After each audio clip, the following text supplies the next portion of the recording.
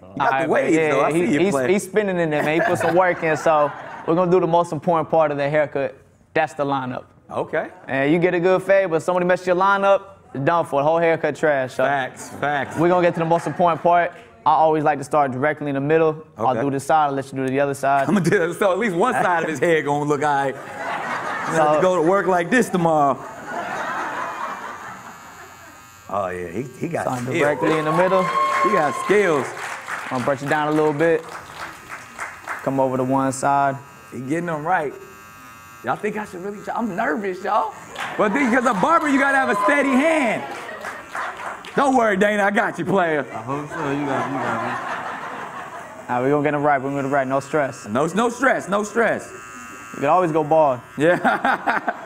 and you talk to them, and this is where you encourage and. Yeah. Yeah. So Dana, tell me, tell me what you do. Yeah, I'm an EMT for, right here in New York City for fire department. Fire department.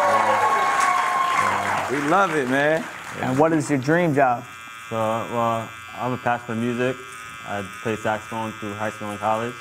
Uh, yeah, pretty excited. I'm planning on going Fireman that plays saxophone. You single, ladies? Y'all- You, Your turn. it's my turn. Your turn, man.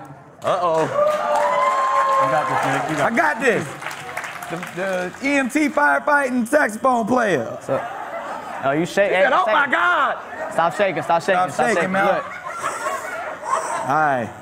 Can I hold his head like I hold my Hold- son's head? Hold him. Hold him. Uh, Whatever make you comfortable. you got this, bro.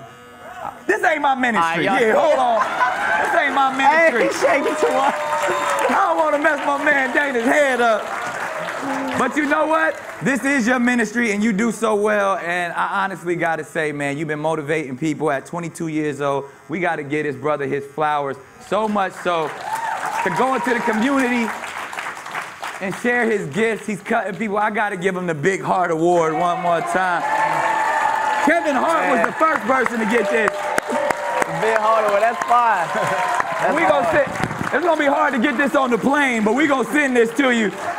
But you got a big heart for the community. We standing up for you here in Harlem.